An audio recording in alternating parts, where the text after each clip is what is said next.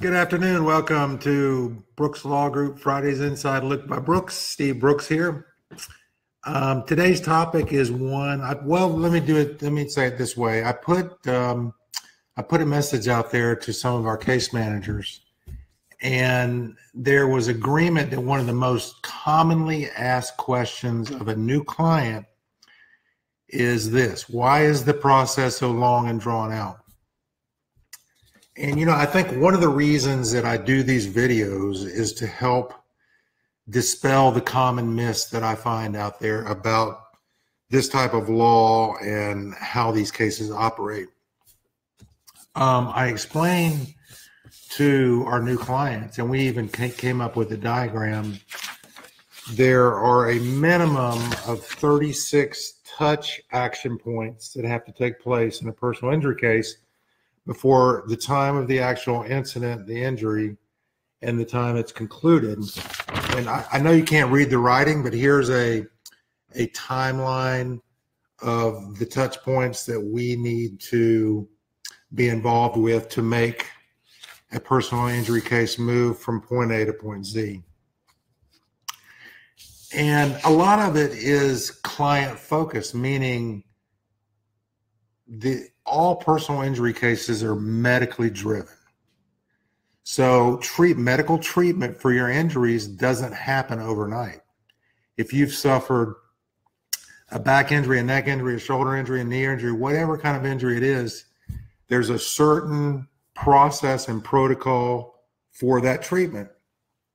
And until you complete the treatment, your attorney, whether it's us or some other attorney, would be short selling you if we tried to resolve that case before you completed treatment.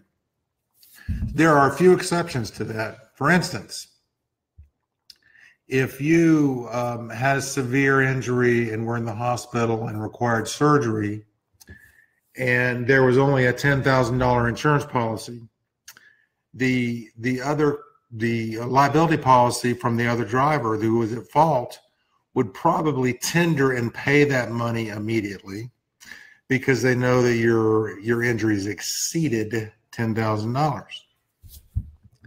But those kind of cases are rare. Most cases where there's adequate coverage are going to require the client to go through the process of treatment.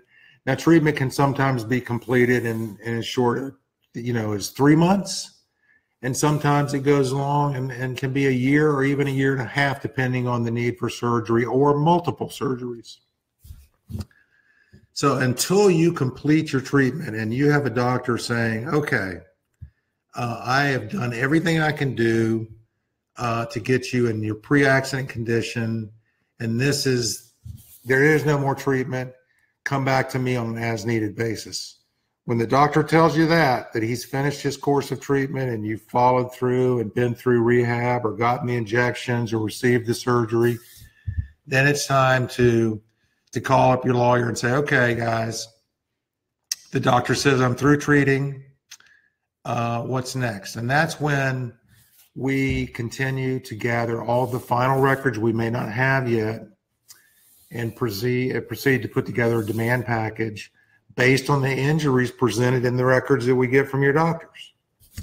So um, we would be selling your case short if we tried to resolve your case at any time before you finish treating. So, um, and then there's a lot of other touch points. I mean, we have to get um, not only your medical records, but we've got to to get the accident report.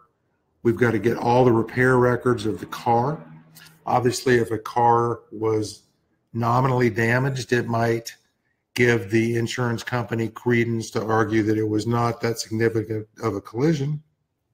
And so we like to have cars taken to body shops that are are really thorough and have the consumer's interest in mind. And we like to get pictures of the car when it's torn down so that we can see all the underbody damage to the car and get a really true estimate of the, the car damage because obviously the more car damage and the more thorough the car repair shop is, the more we can document the, the extent of the actual impact. Um, and it's that impact, that, that collision that transfers into your actual body that, you know, causes your personal injuries. So um, there's a lot of touch points, and it's not it's not just coming here. A lot of people actually come into my office after being in an accident, and they they are under this preconceived notion that in a week or two we're going to get them a check, and it just doesn't work. I don't know where that comes from, because cases resolving that quickly um, are the are the exception because there's no way you're going to complete treatment in a week or two. And um, but that's a common myth that we continually have to dispel. So, um, you know, if you have any questions about your personal injury case, you know, I'd be glad to sit down with you or have a phone call with you and go over the touch points that we um, we believe we have to do to properly document and substantiate a, a, a solid personal injury claim on your behalf. Uh, if you have any questions, I'll be glad to talk to you and um, help overcome these myths that you come in here with. So my uh, email address is steve at brookslawgroup.com. That's Steve at Brooks, B R O O K S L A W G R O U P dot com. And I'll be glad to communicate with you about questions you have um, about the status of your or progress of your case, or you know, if you've got a friend that has questions, I'll be glad to talk to them too. Um, so thank you for joining us today. And next week we will um, we'll try to come up with the second most asked, asked question that the, the, case managers get, and and try to go through the top five so we can um, can deal with all of them. Thanks again. Hope you have a great Easter weekend. Weather's supposed to be really nice here in Florida. So enjoy. Thank you for joining me. We'll see you next Friday at three o'clock.